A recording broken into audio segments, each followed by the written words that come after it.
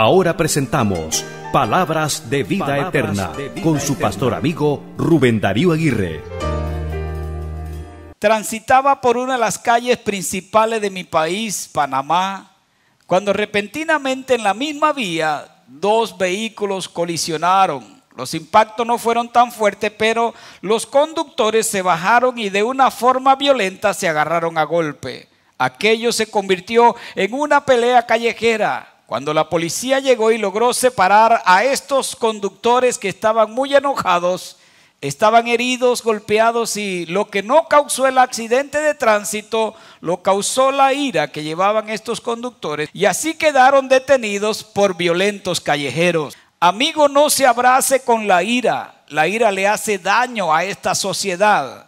Hay ira en las calles, ira en los hogares y cuántas guerras han comenzado por pequeños sucesos, pero que el hombre estalla en violencia y trae destrucción y ruina a la sociedad.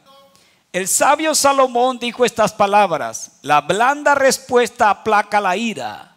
De esto mismo Cristo dijo, mi pasos dejo, mi pasos doy. Yo no la doy como el mundo la da, no se turbe vuestro corazón ni tenga miedo.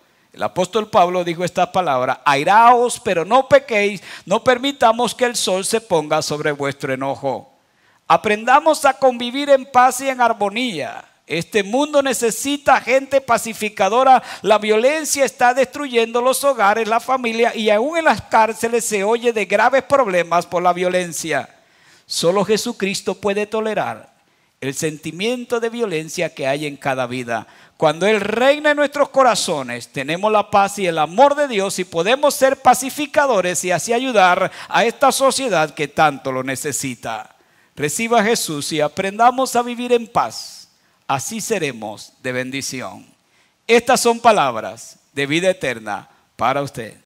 Señor, ¿a quién iremos si solo tú tienes palabras de vida eterna? De vida eterna.